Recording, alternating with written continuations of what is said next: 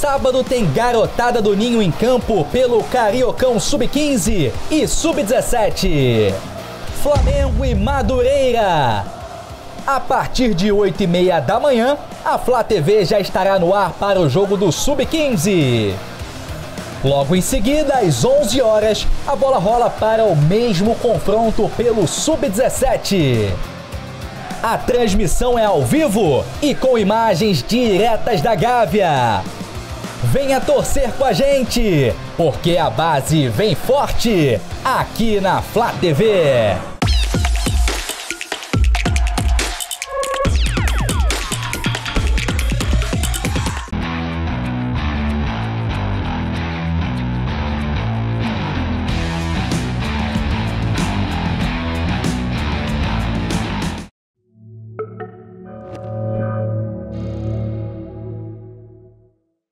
Ninguém para o Fla Judô. Nossa equipe encheu a nação de orgulho de novo, desta vez em Minas Gerais no Troféu Brasil. A campeã olímpica Rafaela Silva conquistou a medalha de ouro da categoria até 57 quilos no primeiro dia da competição. Foram quatro lutas vencidas com maestria pela nossa judoca rubro-negra. Ah, foram quatro lutas, foi uma, uma competição que eu não competia há muito tempo, estava a um nível muito alto. Foi nacional, foi a minha primeira competição na minha categoria, até 57 quilos, porque o Campeonato Brasileiro eu ganhei na categoria de cima, até 63. Então tem, tinha bastante qualidade, as meninas que estão tentando entrar na seleção, algumas meninas que eu já vinha lutando. Então foi um, um teste muito bom assim, para ver que eu estou conseguindo conciliar o meu treino aqui no clube tá, tá dando certo, né? Tá evoluindo, estou conseguindo trazer os resultados nas competições, então foi importante essa competição e melhor ainda trazer o ouro para a nação. No dia seguinte, foi a vez da nossa craque Giovana Santos levar a medalha de ouro para casa. Na grande final da categoria peso pesado, Gigi venceu a atleta Kátia Alves por Ipom. Eu fiz três lutas, essa competição é uma das mais fortes aqui no Brasil porque tem representante do mesmo, tipo, tem vários estados que tem vários representantes, então é até considerado um pouco mais forte do que um brasileiro. E essa foi a primeira vez que eu lutei essa competição, porque de acordo com a pandemia, esse é meu segundo ano no sênior, na categoria principal. E eu nunca tinha conseguido lutar, de acordo com lesões, quando eu era mais nova. E foi a primeira vez que eu lutei. E tem um peso muito grande o Troféu Brasil. E eu fiquei muito feliz de conseguir ser campeã do Troféu Brasil. Passou muita coisa na minha cabeça, porque primeiramente na semifinal eu tive uma dificuldade, aconteceu um imprevisto lá na luta, uns acidentes no meio do percurso. E eu já entrei na final pensando nas coisas que eu não poderia ter cometido que, eu comet... que aconteceu na semi. E eu entrei muito determinada a ganhar, a fazer nessa competição, as duas últimas lutas, eu consegui fazer coisas diferentes do que eu faço normalmente nas competições, então realmente foi uma coisa nova que eu consegui trazer para minha competição. Inclusive, Giovana acaba de bater uma marca incrível. 10 medalhas de ouro em 10 competições vestindo o kimono sagrado. Ah, é muito gratificante, né? Ver todo o retorno que a gente está tendo com o trabalho aqui no Flamengo.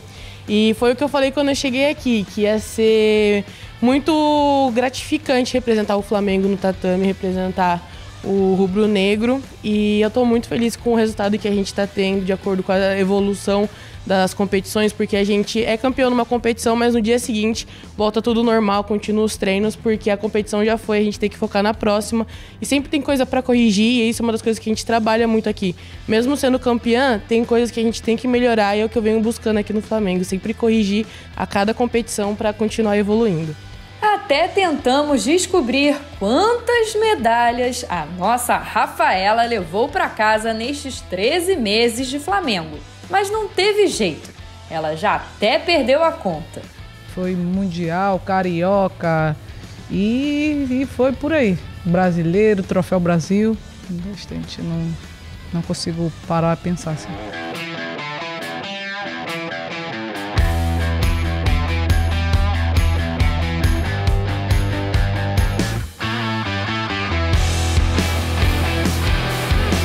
Graças às medalhas de ouro da Rafaela e da Giovana, o mais querido ganhou um título que não conquistava há 20 anos, o de geral feminino no Troféu Brasil. Esse aqui, ó.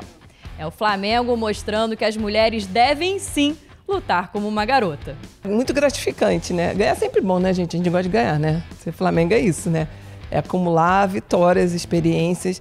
E foi muito bacana. O Flamengo voltou a ficar do tamanho que ele é no judô. A gente merecia esse retorno e a gente ficou muito feliz e é inspirador ver que realmente está trazendo resultado, muitos anos sem, sem configurar nesse, nesse evento, né, que é um evento nacional, que é de, da classe sênior. A gente, por anos, trabalhou com a base do sub-21 e sub-18 e conquistar um título importantíssimo. A gente ficou à frente de, de clubes que estão aí há muitos anos nesse, nesse segmento de sênior e a gente redebutou né, nessa, nessa categoria e fomos campeões. Que esse título ele traga mais meninas para o dojo, é, que mostre para todas as meninas que nós somos realmente protagonistas das nossas histórias, né? Só depende da gente, que sim é possível e a gente tem aí as Rafas, as Gigis da vida, temos as Elisas e que venham muitas Rafas, muitas Gigis e muitas Elisas para cá para a gente contar essa história bacana, história bonita de superação, de, de garra e, acima de tudo, de raça, né? Que esse é o perfil do nosso do nosso clube, que é raça, amor e paixão. É isso, é o que a gente vive diariamente aqui. Então, a formatação dessa, dessa competição ela é, ela é diferente do brasileiro. Cada clube ele pode inscrever 12 atletas, né? E sendo que o clube que tem atleta da seleção, no nosso caso, a Rafa, 12 atletas por gênero. No caso, a Rafa, que é da seleção, então a gente pode escrever um a mais, a Rafa não conta. Então, daí a complexidade do, da competição. Tinha, tinha categoria, tinham mais de 30 atletas. Então, realmente, o nível de dificuldade, o nível técnico é diferenciado, o que contempla ainda mais a nossa conquista, né? Eu fiquei até surpresa quando me falaram que fazia 20 anos, né, que o último foi em 2002 eu fiquei muito alegre com essa notícia que eu e a Rafa a gente conseguiu trazer esse título de novo para o Flamengo. É, a gente sempre vem buscando o, o, lugar mais alto do pódio e isso é uma das coisas que eu com certeza vou continuar batalhando, vou continuar treinando para alcançar, sempre corrigindo os erros de acordo com a competição. Pode ter certeza que em cima da thumb eu vou dar o meu melhor sempre. Ah, é um privilégio grande, né? Porque o clube abriu as portas para eu poder treinar, voltar a competir, a me preparar da melhor maneira possível para conquistar aí vaga em campeonato mundial, as medalhas que eu conquistei aí pelo clube, a, a vaga na, na Olimpíada de Paris 2024, que esse é o nosso maior objetivo, mas a gente tem o objetivo de não só chegar e, e ganhar a competição e trazer a medalha e ficar por isso mesmo. Então a gente tem que deixar um legado, né? Porque a gente tem que mostrar quem é o Flamengo, o que o Flamengo pode fazer. Então, com a nossa medalha, a gente pode inspirar as outras meninas a quererem medalhar também para contribuir ainda mais e quem sabe aí evoluir e trazer sempre um troféuzinho para a nação, que é o mais importante, é sempre representar a nação da melhor maneira possível.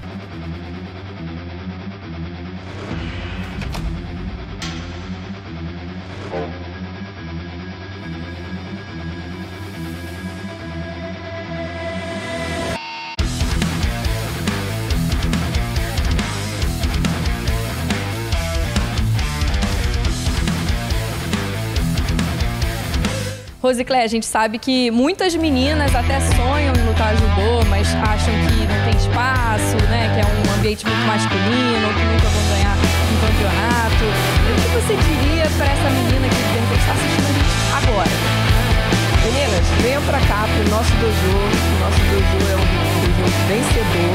Estamos acostumados a lidar com meninas. Menina pode fazer o que quiser, seja onde quiser. Seja protagonista da história de vocês. Vem pra cá que a gente vai fazer você uma campeã.